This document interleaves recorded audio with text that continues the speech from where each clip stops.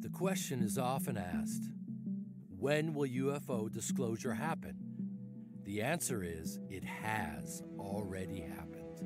It happened in 2001 at the National Press Club in Washington, D.C., where military, NASA, and intelligence agency whistleblowers testified to their involvement in the UFO cover up and the back engineering of extraterrestrial technologies. It happened again in 2017 with the release of the film Unacknowledged, in anticipation of which the CIA and the FBI published millions of UFO documents on their websites. Despite all this, nothing has really changed. Life goes on as before, except there is a new narrative unfolding in the mainstream media, one that is designed to subvert true disclosure and extinguish the opportunity for transformation available to us through these revelations. Earlier this week, the New York Times and Politico revealed the existence of a secret government program to investigate UFO sightings. It was especially focused on encounters by members of the military, like this one experienced by a U.S. Navy pilot off the coast of California. There's a whole fleet of them. Look on the ASA. My gosh. They're all going against the wind. The wind's 120 knots from the west. Look at that thing.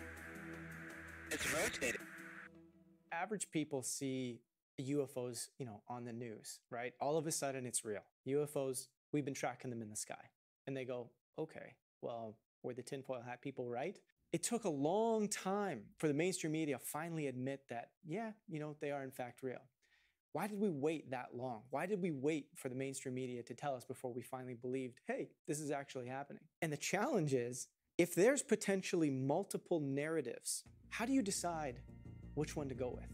Back in the 1990s, I was read into or briefed on a project that involved an interagency group that had the ability to disclose the ET presence in a way that would frighten everyone on Earth and convince the public that there was an alien threat, which is completely false. It's all a lie.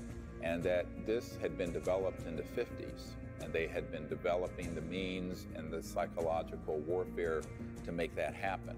So in the 1990s, I wrote a paper called When Disclosure Serves Secrecy. What that means is there are two kinds of disclosures that might happen a truthful one that is also a hopeful one, which is what I gave up my medical career to try to actuate, do. And then there's the one that is spun by the spin meisters in Washington and at the Pentagon and CIA which runs like this. It's true the UFOs are real. They are here as a threat. They're violating our airspace. They're a national security and a threat and a threat to our sovereignty. I'm quoting. The purpose of the program, Advanced Aerospace Threat Identification Program, was really designed to do just that. Um, from a national security perspective, identify those things that we see and try to ascertain and determine if that information is a potential threat to national security.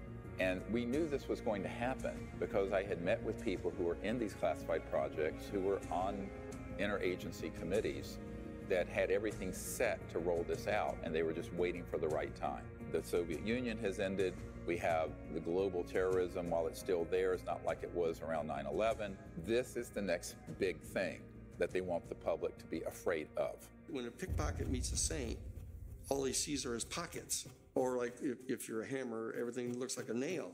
And, it's not that this isn't a genuine perception on their part, because they've been raised, their entire political and, and professional career has been designed to have this kind of artificial construct of this. There's this national airspace, and nobody can come into the airspace unless we say so.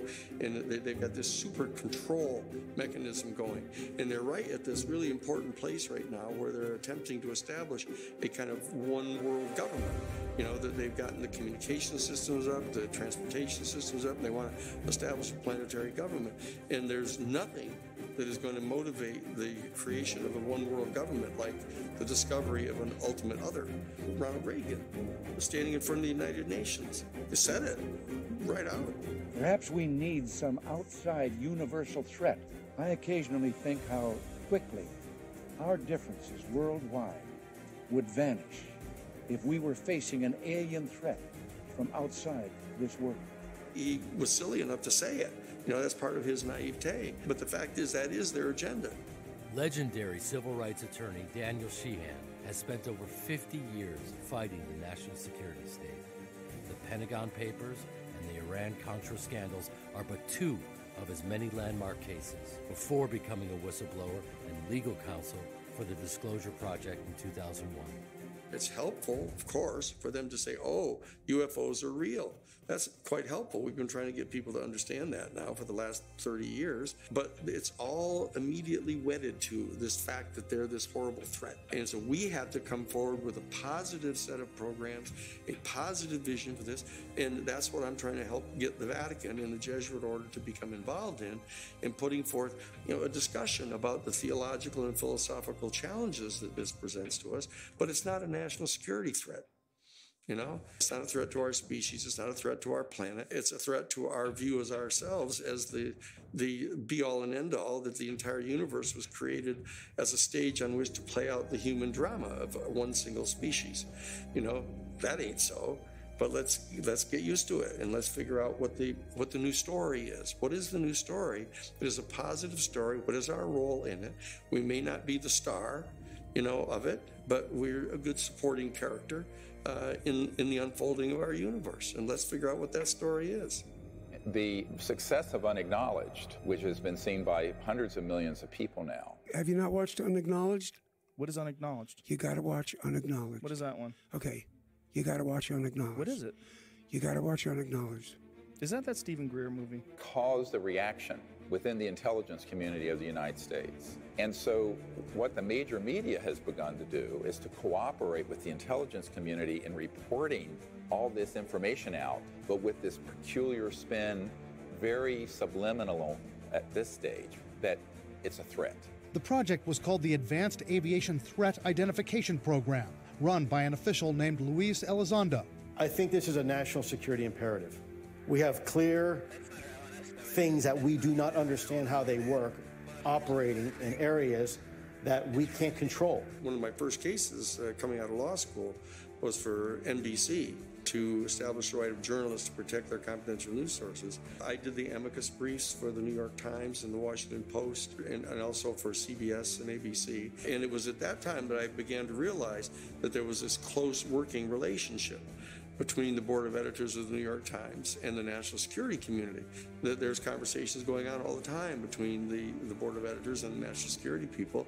Uh, and we actually got an affidavit from Teddy Sorensen saying that, oh, yes, the national security state, the CIA, and everybody consult regularly with the New York Times to get them not to tell information about covert operations that we're engaged in. I was surprised uh, to find that out at that point.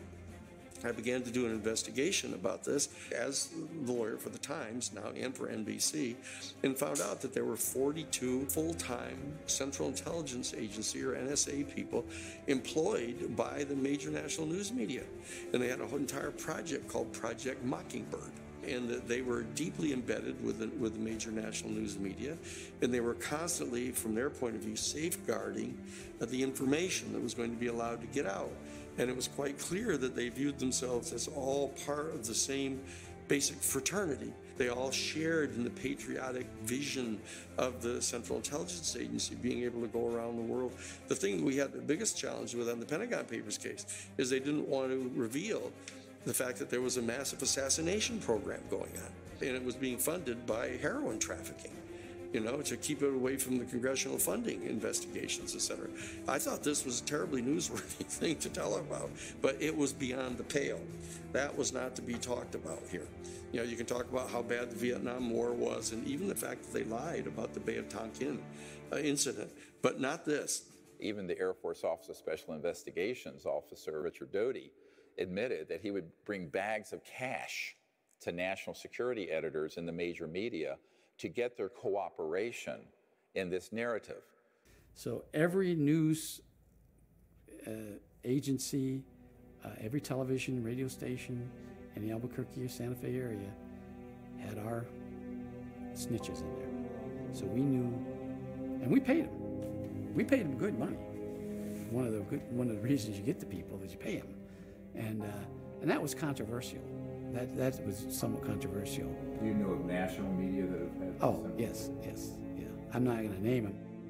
What you have now is a concerted effort between mainstream media, social media platforms, and tech giants to say, let's gain control back of the narratives that we require to make sure that we can control how people think about certain topics. So now you have this fear driven, you have this, this tight little box of what the UFO and the extraterrestrial subject is really about, how it relates to military, government spending, weapons, all the sort of conversations that are very common in the mainstream that people are going to relate to, that they, oh, okay, I can piece the typical dots together. Let me give you a great example. If you look at a lot of the disclosure project materials, which is beyond the scope of this film, we identified dozens of people who were at intercontinental ballistic missile, nuclear silos, nuclear weapons areas, who had had UFOs come in to those areas, surveilling them, but in some cases rendering those missiles unlaunchable. Now, most of the men that were in those silos have said to me personally, they felt that these ETs were saying, please don't blow up this beautiful planet. But if you do, if you go to mutual assured destruction, the full launch of nuclear weapons globally, we can intercept a lot of them so that you don't go to a full extinction level event. They felt that it was actually a very hopeful thing that happened. Meanwhile, people came along, took the same data, the same cases, and spun it into a national security threat. One set of facts, two narratives, diametrically opposed, opposite. When I got involved in uh, the issue of the UFO issue and the ET issue, uh, starting in 1977 with, with President Carter, I realized that the work that I was doing was characterized by the national security state as a target for counterintelligence activities. When I see this thing happening with this To the Stars Academy, uh, where they suddenly appear on the front page of the New York Times, and the CNN all of a sudden wants to talk with them, and they're on MSNBC and all this kind of stuff, uh, I immediately kind of uh, realized wait a second, this is part of what I've been worried about coming out because they were constantly spinning this story that this is a threat. My name is Tom DeLonge. Um, a lot of people know me uh, from my band Blink 182. I started that band when I was 16. Through a series of meetings, I was soon connected to a large group of U.S. government officials from the CIA, the Department of Defense, and Lockheed Martin Skunk Works. These guys were the ones involved in the secretive U.S. government programs that dealt with these subjects. What's happening is the To the Stars Academy people, we're all, you know, Jim Semivan, who's there, you know, the, the chief of covert operations, domestic for CIA, which in and of itself is totally against the law. You know, the National Security Act of 1947 completely, clearly, and unequivocally prohibits any kind of covert operation stateside. Uh, but here, that's who he is. Uh, and there he is there. And you got the guys from the DIA and the Defense Department and Hal Puthoff and stuff. And they're, they're all there. And, and what, what they're doing is they're, they're putting this intense spin. Every single thing they talk about all has this kind of gestalt to it that this is a threat. And it very well could be a threat. Uh, it's a threat to our national security. It's a threat to our airspace. Uh, it's a threat to our sovereignty. It's, it's what it is. It's a threat to our dominion over our own planet. And of course, they think that's their job. our job is to assert full spectrum dominance over the entire planet. We actually have the documents from the 1992 United States Defense Department Policy Planning Guidance document, where they said that right at the end of the right at the dissolution of the Soviet Union. Said, "Oh, we've got to not cut back on our military spending. We have to increase it so we can establish full spectrum dominance over the planet." And so you know what their agenda is: the national security state. It's not for the defense of our sovereignty. The danger of this, of course, is that this is exactly what all fascistic demagogues do to an innocent target, whether it be Jews in Germany or African Americans in this country, they will create sort of a, a boogeyman effect to try to get people mobilized against it. You're one ugly motherfucker. And as one member of a royal family told me, we need to do things so that the public will accept in blood and treasure the sacrifices needed to have an interplanetary war. I'm quoting. Bombshell CIA documents, previously published by the Disclosure Project, reveal a decades long psychological warfare campaign to cultivate a culture of fear towards extraterrestrials. And it's interesting that Hollywood and uh, you know the clandestine services are both spend most of their time convincing people that something that's not true is in fact true. I think probably Hollywood is full of CIA agents, and we just don't know it. Um, and I wouldn't be surprised at all to discover that you know this was extremely common. Intelligence assets within Hollywood have made billions of dollars popularizing the narrative that humanity's first encounter with ETs will be a devastating bloodbath.